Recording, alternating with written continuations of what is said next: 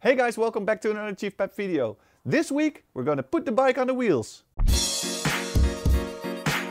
So this week I've put everything together and, the bike is on its wheels. And before we jump in that video, let me explain that that powder coating is a pretty thick layer. So sometimes I have to open up some holes to make everything fit or I have to take off a little bit of the coating. But for the rest, it's a pretty cool video. Have a look.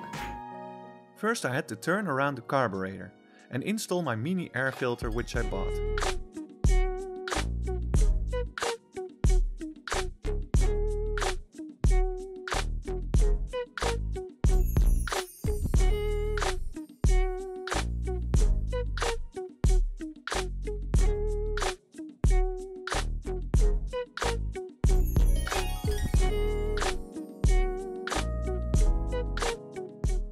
Install these carburetors, the easiest way is to leave the air intake manifold boots on your cylinder.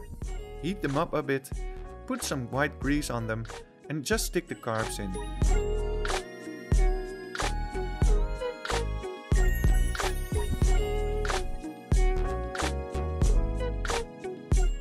Press them in well, because you don't want any false air to come in through these manifolds.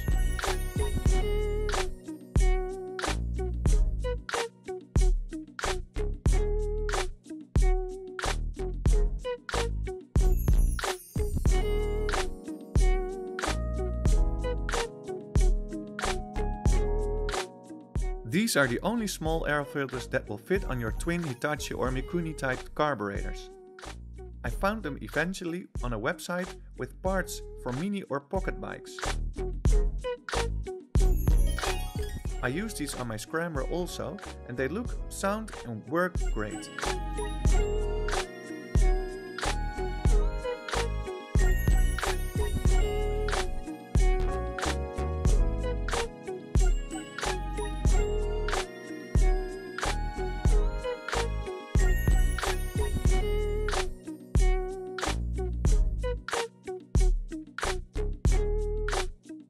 Then I installed the front cylinder stay.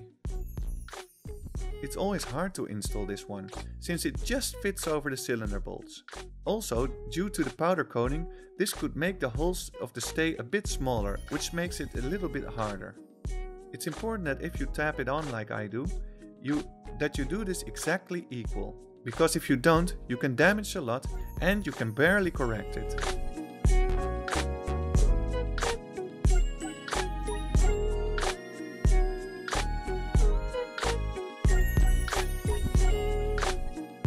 My frame number was masked for the powder coating. I thought it might be a good idea to undo it from the coating and just add a piece of tape which you, you can take off easily. Then I needed to clean the bearing housing for the steering stem thoroughly to make sure all the sandblast medium was gone.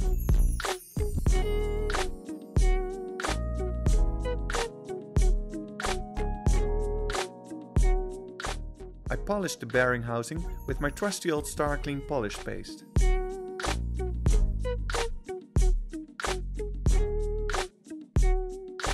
I noticed a sharp edge in the frame and I was afraid this might damage the bearing so I grinded that off with my Dremel tool.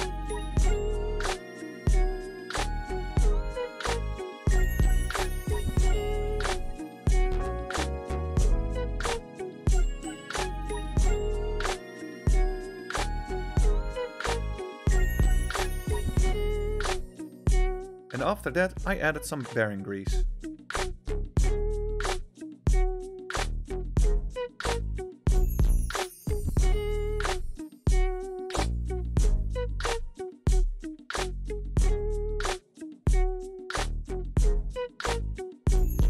Then I put the frame on the engine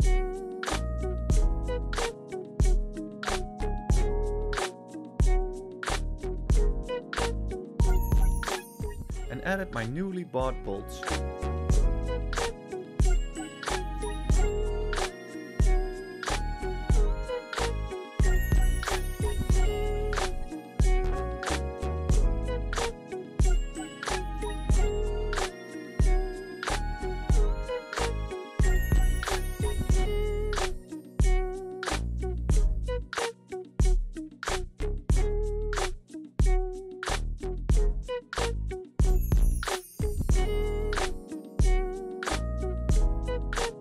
And added the powder coated frame piece we made earlier for the ignition lock.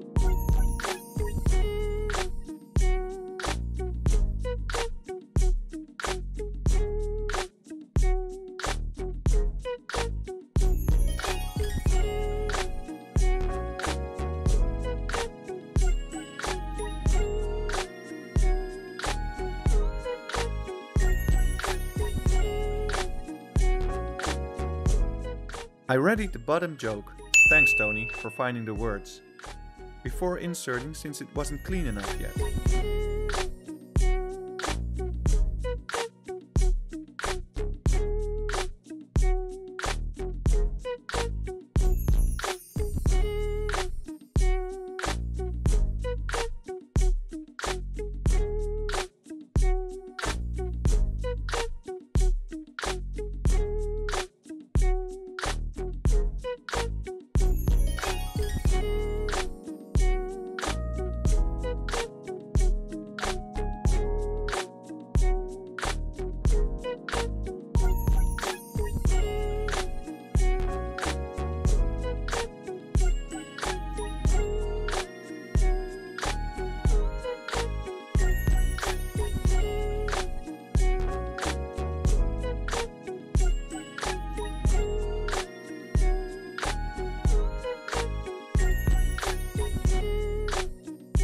Grease the bearing carefully.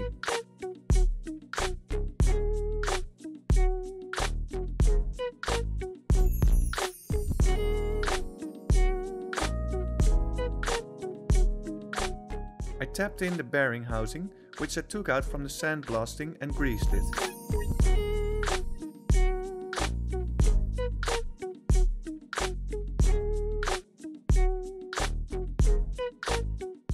I placed the tapered steering needle bearing and inserted the joke.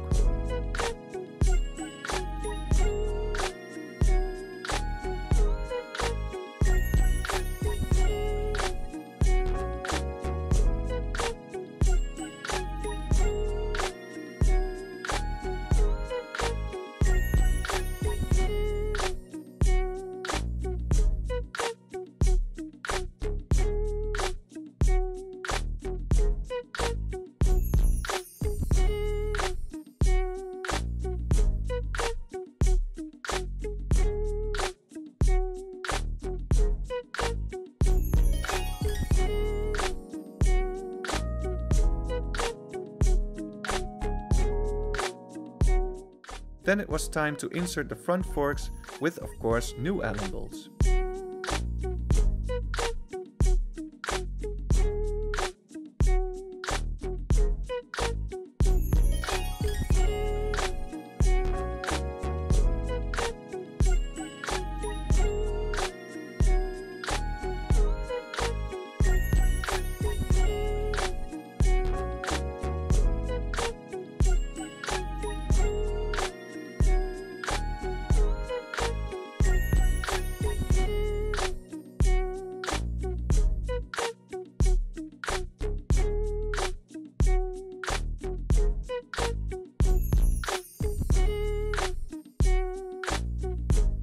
Since the rear end would be next, I decided to turn my motor lift in my garage.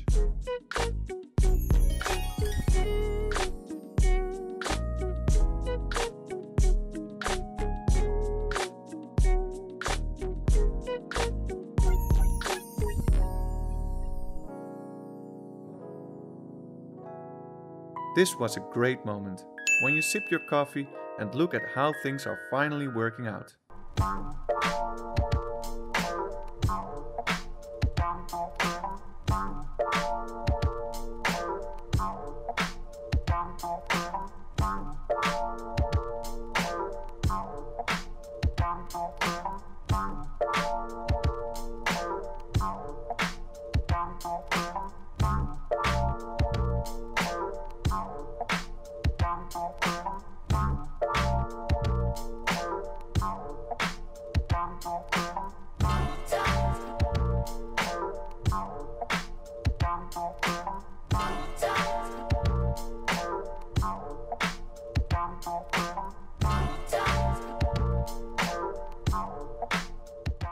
Then to install the lower part of the frame.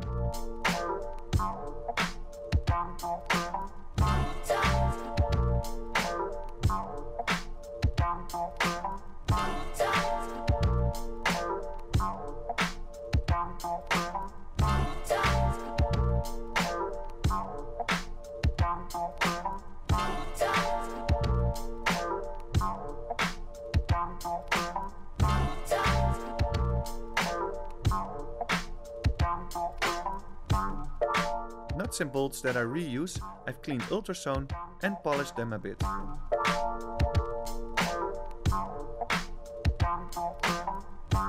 Then the swing arm. This is one of those moments that due to the powder coating, a shaft didn't fit anymore in its hole. I needed to undo it from its coating. Next to that, the fine thread was also a bit coated so I used my thread repair file to make it clean again. This is really a tool you should have in your garage.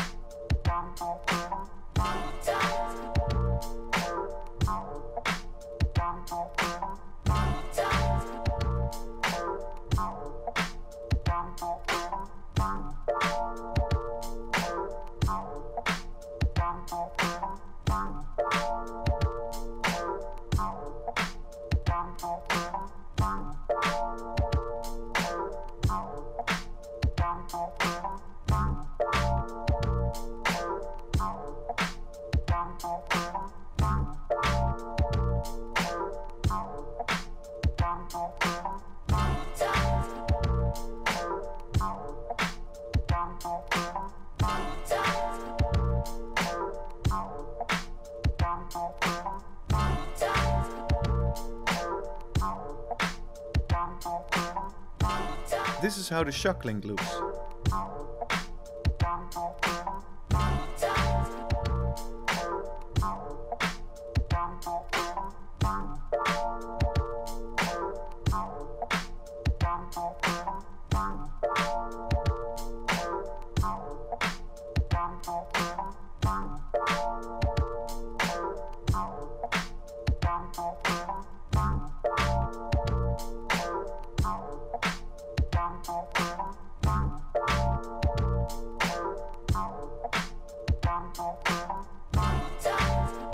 Then it was time for the rear wheel.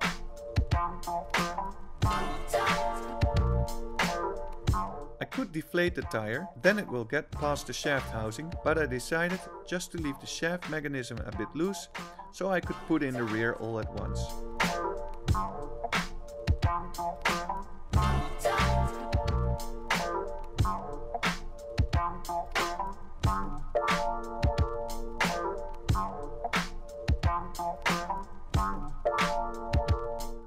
Test fit things first. I needed to use some liquid gasket sealing on this housing. This is to keep the rainwater from coming in.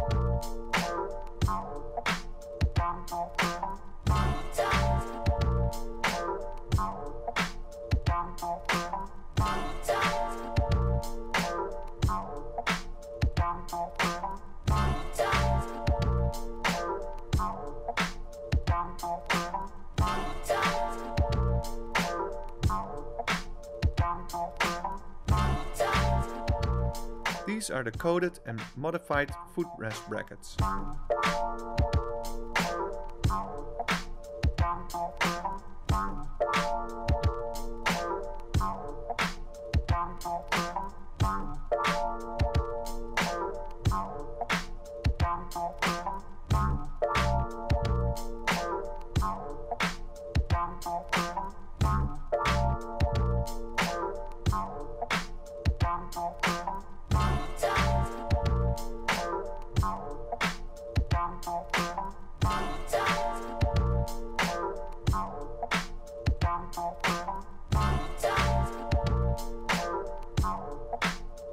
Bye.